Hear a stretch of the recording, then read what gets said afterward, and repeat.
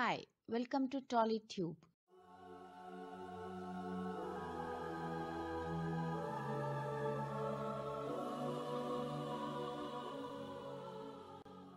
ఒకప్పుడు విలన్ అనగానే గుర్తొచ్చే నటుడు రఘువరన్.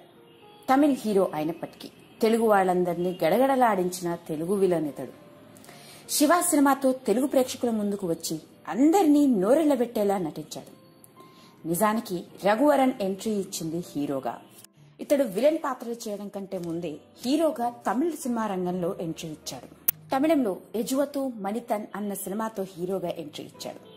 ఆ తర్వాత హీరోగా వరుస అవకాశాలు వచ్చినప్పటికీ తగ్గ పాత్రలు రాకపోవడంతో అతడు సపోర్టింగ్ పాత్రల వైపు మళ్ళాల్సి వచ్చింది. ఇక విలన్గా నటించిన మొట్టమొదటి సినిమా తమిళంలో సిల్క్ సిల్క్ సిల్క్.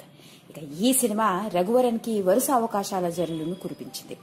చూడటానికి సన్నగా పొడుగ్గా పెద్ద పెద్ద కళ్ళతో నిజంగానే విలన్గా ఉట్టిపడుతూ ఉంటాడు సినిమాల్లో.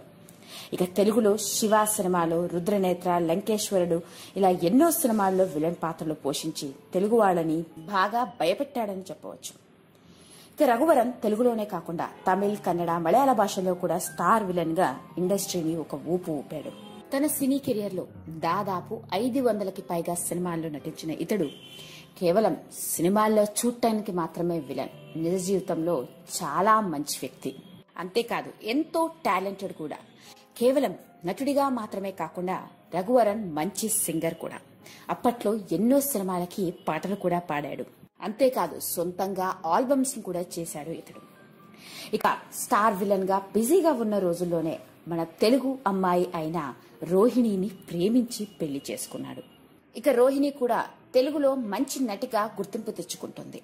ఇక ఆ సమయంలోనే తనతో పాటు కలిసి వరుస సినిమాల్లో నటించిన తమిళ్ స్టార్ విలన్ అయిన ఈ రఘువరన్ని ప్రేమించి పెళ్ళి చేసుకుంది. పెళ్ళైన రెండేళ్ళకి వీళ్ళకి కొడుకు కూడా పుట్టాడు. కానీ ప్రేమించి పెళ్ళి చేసుకున్న వీళ్ళు రెండేళ్ళ తర్వాత మనస్పర్ధల కారణంగా విడిపోయారు. రోహిణి రఘువరన్కి ఒక కొడుకు ఉన్నాడు. అతడి పేరు రిషి వరుణ్.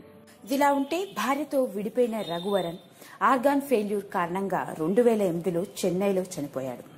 విలన్గా ఎన్నో సినిమాల్లో నటించిన ఇతడు సపోర్టింగ్ పాత్రలో కూడా నటించాడు. ముఖ్యంగా తండ్రి పాత్రలో సుస్వాగతం బాబీ నాగా నాని ఆతాడిస్తా వంటి సినిమాల్లో కనిపించాడు. ఇక రఘువరన్ చివరిగా నటించిన సినిమా నితిన్ హీరోగా వచ్చిన ఆటాడిస్తా. నటుడిగా మనందరికీ బాగా గుర్తుండిపోయిన రఘువరన్ అకస్మాత్తు మరణం నిజంగా సినిమా ఇండస్ట్రీని అప్పట్లో బాగా కదిపివేసింది. ఇకపోతే ఈ నటుడి కొడుకు అయిన రిషి వరుణ్ తన తండ్రి వారసత్వం తీసుకుని త్వరలోనే సినిమా రంగంలోకి రాబోతున్నాడన్న వార్తలు వినిపిస్తున్నాయి. ఇక ఈ రిషివరన్ని కనుక చూస్తే అందరూ నోరెళ్ళబెట్టవలసిందే అచ్చు హీరోలాగా ఎంతో హ్యాండ్సమ్గా కనిపిస్తున్నాడు. ఏది ఏమైనప్పటికీ తన తండ్రి లాగానే ఇతడు కూడా మంచి నటుడిగా సినిమా ఇండస్ట్రీలో బాగా గుర్తుండిపోవాలని ఆశిద్దాం.